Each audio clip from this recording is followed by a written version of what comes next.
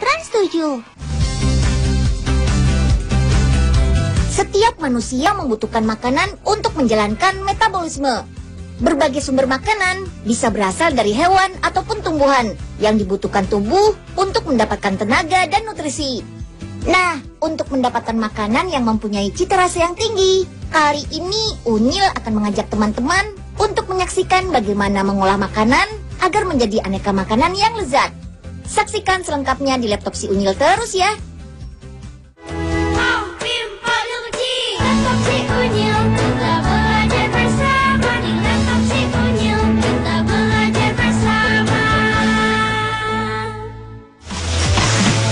Selain teksturnya yang kenyal, puding ini juga jadi jajanan yang kaya vitamin loh.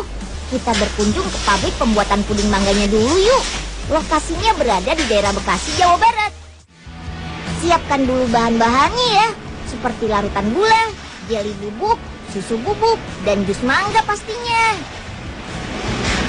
Campur bahan menjadi satu dalam tangki berkapasitas 200 kg ini. Pertama, giliran larutan gulanya dulu nih. Siapkan bahan berikutnya, jeli bubuk. Campur jeli bubuk terlebih dahulu dengan susu bubuk.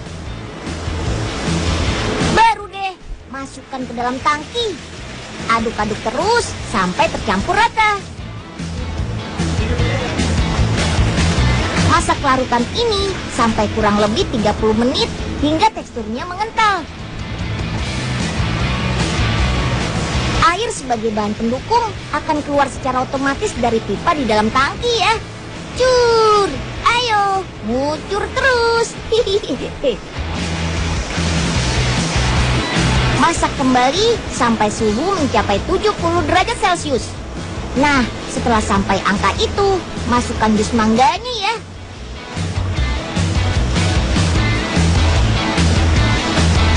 Jus mangga merupakan pemberi rasa mangga alami dan sumber vitamin C pada puding loh. Masak kembali larutan ini hingga mencapai suhu 85 derajat Celcius. Sambil menunggu suhunya naik, yuk siapkan bahan pewarna dan perasanya. Ini dia bahannya. Eh, tenang, dua-duanya aman kok. Kan khusus untuk makanan. Beres mencampur, yuk kita tuang ke dalam tangki. Wih, wih, warnanya jadi cerah kan? Aromanya, hmm, mangga banget.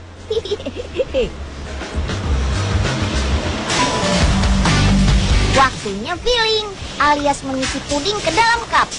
Letakkan cup secara berbaris yuk. Otomatis, cup akan diisi nata de coco sampai seberat 13 gram. Baru deh, isi dengan pudingnya sampai penuh dan beratnya 90 gram.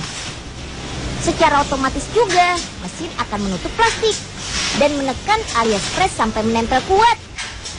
Meluncur.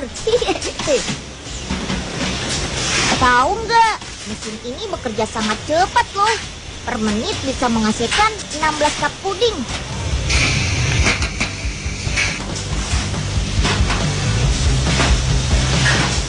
Eh, mau gak? Ayo tangkap, Pak. Puding yang ketangkap itu yang boleh dibawa pulang ya. Siap, Den. Pasti Pak Oga dapat banyak nih. Ya, kep. Yeay, Unyil dapat. Duh, pakai loncat lagi. Eh, aduh, udah basah semua nih. Ayo Pak tangkap. Duh, kagak dapat dapat nih, Den. Udah baju basah semua nih. Ah, Oga ambil dari sini aja ah. Ya, Auga curang ih. Ah. Oh iya, belum selesai nih. Agar puding bebas bakteri, harus masuk juga nih ke dalam wadah pasteurisasi. Proses pasteurisasinya yaitu merendam puding di dalam air panas bersuhu 85 derajat Celcius selama 25 menit. Tujuannya membunuh bakteri dan menjadikan produk higienis. Nah, kalau sudah selesai, pindahkan keranjang berisi puding ini ke dalam air dingin. Biarkan puding terendam selama 45 menit. Tujuannya membunuh bakteri yang hidup pada suhu hangat setelah pasteurisasi tadi. Cek lagi dan lagi.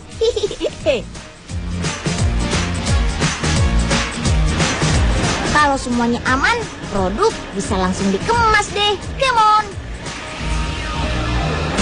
Sekalian kemas, sekalian deh tempel tanggal kadaluarsanya ya.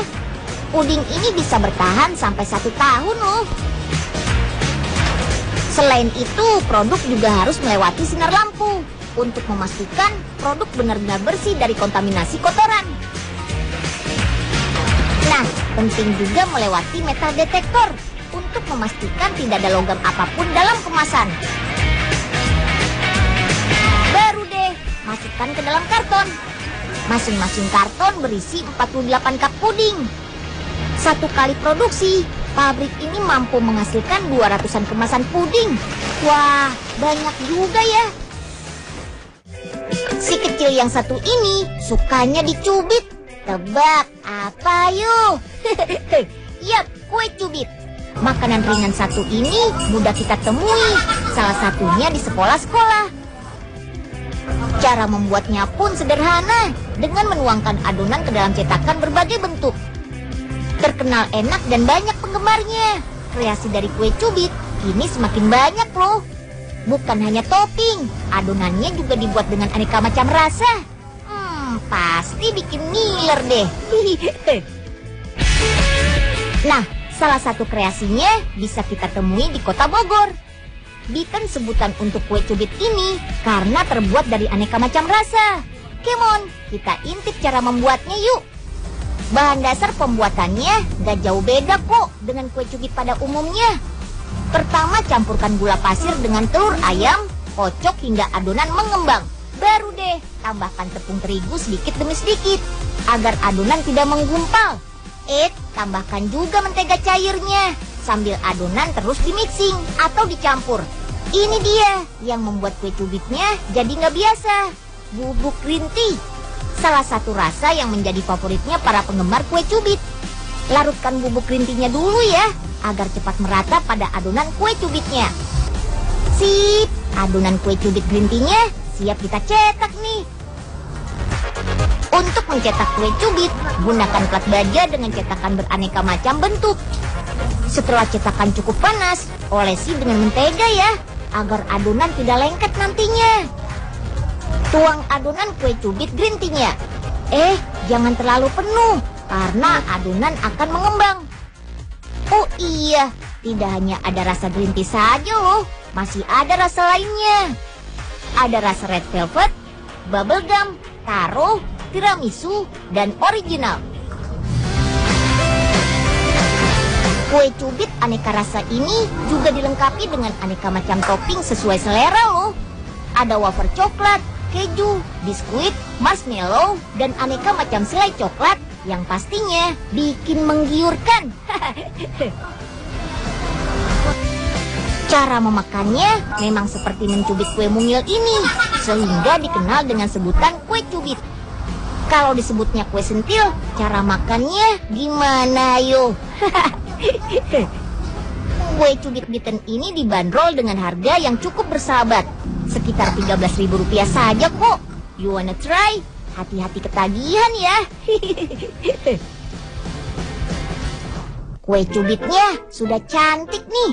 Siap buat dicubit rame-rame. Ada kue nih. Bagi-bagi boleh. Unyil bikin memang buat dibagi-bagi kok, Pak. Ayo, Pak, cobain.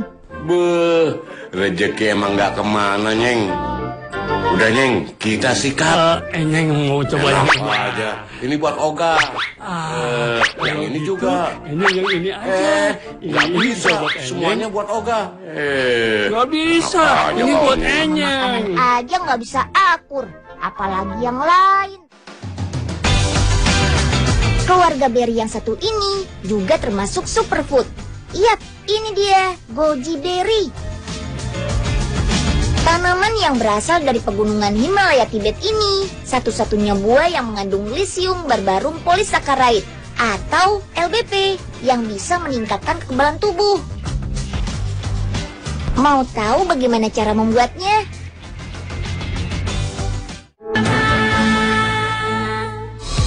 Bahan baku coklatnya berasal dari perkebunan kakao di sekitar Bali. Biji kakao harus kita fermentasikan selama lima hari. Gunakan daun pisang seperti ini ya.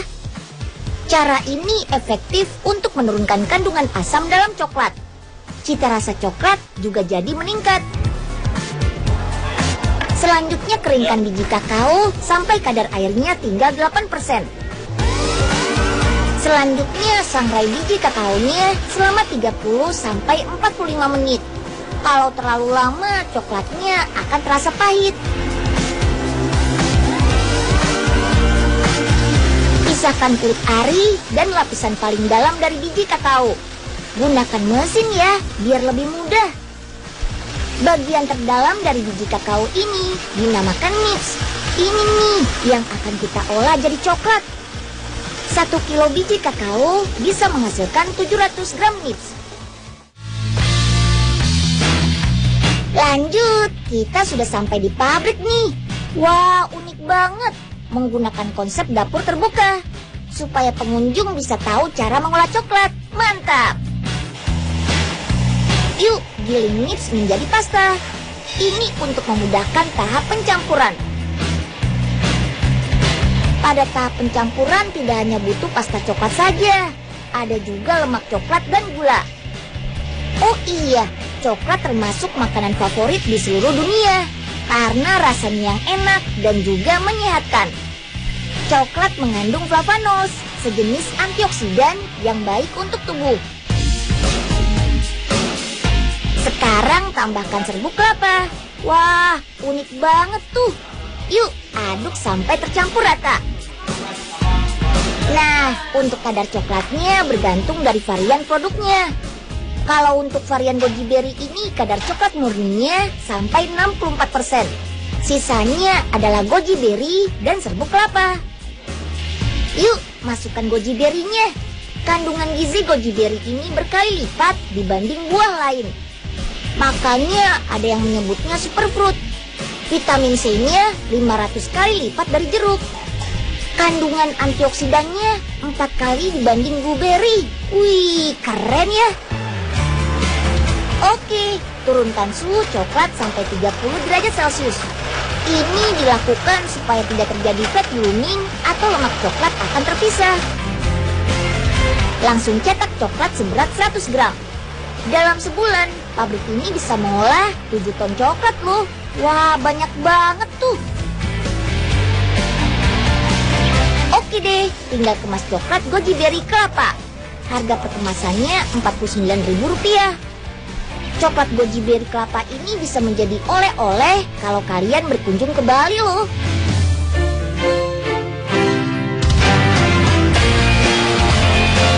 Menikmati coklat dengan isian goji berry dan kelapa berarti kita dapat manfaat berkali lipat dari coklat, goji berry, dan juga kelapa. Tubuh pun jadi sehat. Hmm, hmm, ngantuk banget nih. Ah, tidur dulu ah. Lah, nih orang bener-bener ya. Ditinggal bentaran doang udah molor. Lah ini bebek-bebek pada ke mana ya? Bangun! Uh, uh, aduh, aduh. Uh, kayak petir banget sih pos suaranya menggelegar. Uh, Bebek-bebek pada ke mana, hah? ya di situ, eh ke mana ya? Iya, mana? Disuruh jagain molor aja. Kagak jadi dah nih ayam masa bebek betutu. Uh, uh, uh. Aduh, aduh, aduh, ampun po, ampun, aduh.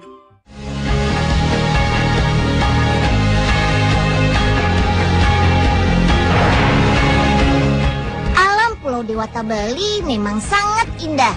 Selain pemandangan, kita juga bisa menikmati Bali dari sisi makanannya loh. Yap, Bali punya makanan khas. Ayo, ada yang tahu nggak? Unyil kasih tahu deh, namanya bebek betutu. Makanan berprotein tinggi ini dibuat dengan teknik khusus. Walaupun sudah ada cara masak lebih modern, cara masak asli tetap dipertahankan di beberapa rumah makan di sekitar Bali. Ikuti Unyil terus ya untuk tahu rahasia teknik mengolah bebek betutu. Let's go! Satu persatu anak bebek atau meri lahir. Wih, ayo semangat dorong cangkangnya. Dari 1000 telur, sekitar 60 sampai 80 telur gagal menetas.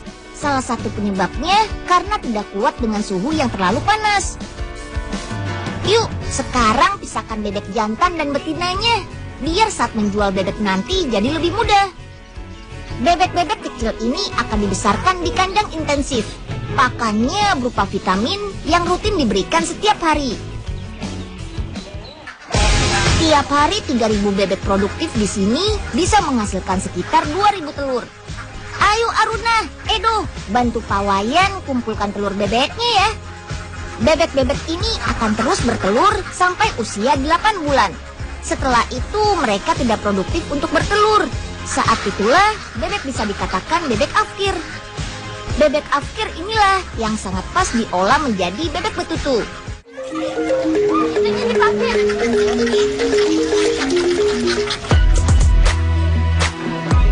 Salah satu restoran dengan menu bebek betutu ada di daerah Ubud. Restoran ini tetap mempertahankan keaslian teknik mengolah bebek betutu loh. Wah, ada Mbri Ketutu Widiasa yang mau masak bebek betutu tuh. Nah, restoran ini hanya menggunakan bebek afkir. Ini karena saat masuk umur 6 bulan, bebek afkir punya tulang yang kuat. Sehingga saat bebek dimasak dalam waktu lama, dagingnya tidak hancur. Yap, proses masak bebek betutu memang butuh waktu lama. Nah, kita mulai dari mengolah bumbunya dulu yuk. Masakan betutu menggunakan bumbu dapur seperti bawang merah, bawang putih, kunyit, kencur, lengkuas, serai, lada hitam, lada putih, serta cabai. Bebek utuh akan kita marinasi atau rendam dalam campuran asam jawa dan gula merah. Fungsinya selain untuk memperkuat rasa, juga untuk melunakkan daging bebek.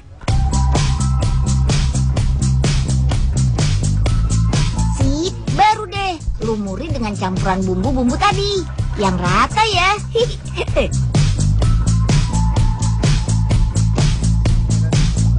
Bungkus bebek utuh ini dengan pelepah pohon pinang. Wah, unik banget kan? Baru deh, kita masak. Unik juga nih, karena caranya dengan menimbun bebek dalam sekam padi yang dibakar. Bara sekam padi akan menghasilkan panas untuk matangkan bebeknya. Waktu yang dibutuhkan untuk mematangkan bebek bukan sejam dua jam, tapi 12 jam. Widih, lama banget ya. Waktu masak yang lama ini membuat bumbu betutu meresap sempurna. Hmm, yummy. Teknik mengolah inilah yang masih dipertahankan. Tentu saja untuk mempertahankan cita rasa khas bebek betutu. Nah, sekarang saat yang paling unyil tunggu-tunggu nih. Ayo makan. oh iya, setengah ekor bebek betutu harganya Rp115.000. Selain rasanya yang pasti enak, bebek betutu merupakan makanan berprotein tinggi. Protein sangat dibutuhkan untuk pertumbuhan teman-teman. Mantap!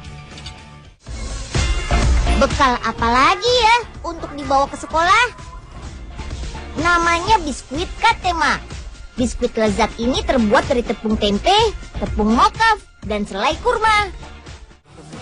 Ayo, Faiza dan Yaya, bantu Bu Titi ya. Kita mulai buat adonan biskuitnya. Campur telur ayam, gula bubuk, dan mentega dalam wadah. Kocok ketiga bahan sampai mengembang. Biar makin enak, kita tambahkan perasa makanan. Tenang, aman kok. Kali ini kita buat rasa jeruk. Aduk terus sampai adonan rata. Oke, sip. Sekarang masukkan tepung mokaf. Tepung ini terbuat dari gilingan singkong yang difermentasi. Campur sampai merata.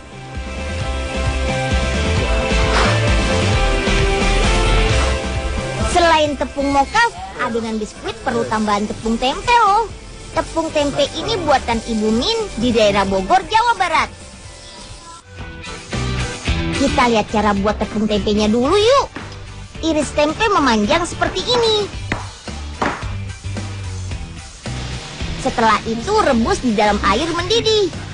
Perebusan ini untuk mematikan jamur pada tempe sehingga tepung menjadi awet.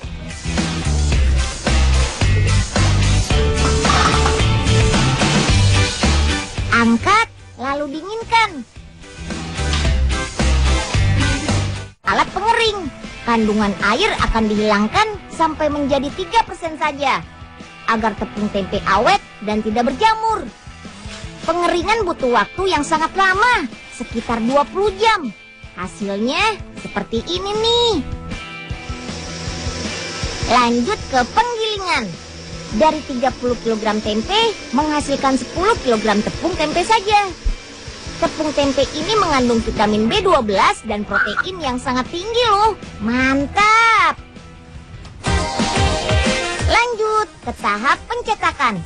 Eh, sebelumnya tipiskan dulu adonannya. Kira-kira tebal 4 mm. Baru deh cetak berbentuk bunga seperti ini. Lucu ya. Yuk, kita bakar biskuitnya dalam oven bersuhu 150 derajat Celcius.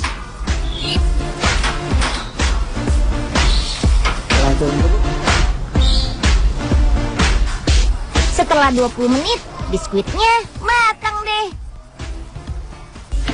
Sekarang kita lihat cara buat selai kurma. Jenis kurmanya bisa apa saja. Cukup pisahkan biji dengan dagingnya. Haluskan daging kurma dengan rebusan gula merah. Oh iya, selai kurma kaya akan kalori, zat besi, dan kalsium. Kandungan kalorinya bisa bikin kalian punya tambahan energi. Jadi nggak lesu ketika belajar di sekolah. Kandungan zat besinya juga dapat membantu meningkatkan konsentrasi loh. Mantap kan? Lapisi biskuit dengan selai kurma. Lalu lapisi lagi di atasnya dengan biskuit. Seperti sandwich ya. Biskuit Katema siap dikemas nih. Setiap kemasan mempunyai berat 100 gram. Harga per kemasan Rp13.000 saja. Penjualan biskuit sudah ke seluruh Indonesia loh. Biskuit ini bergizi tinggi loh, kaya protein, kalori, dan zat besi. Jadi bikin kalian gak lesu dan meningkatkan konsentrasi belajar di sekolah. Mantap nggak tuh?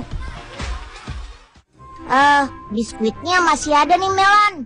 Melani mau cobain nggak? Melani mau, Melani mau New. Sepertinya enak New. Woi, makan gak bagi-bagi embul. Sini, biskuitnya buat embul. Sini, ah, buat embul semua ya. Hahaha. Kebul gitu sih New. Ah, udah Melan biarin aja. Unyil ajak ke tempat buat biskuitnya deh. Nanti Melan bisa cobain di sana, ya. Oke New.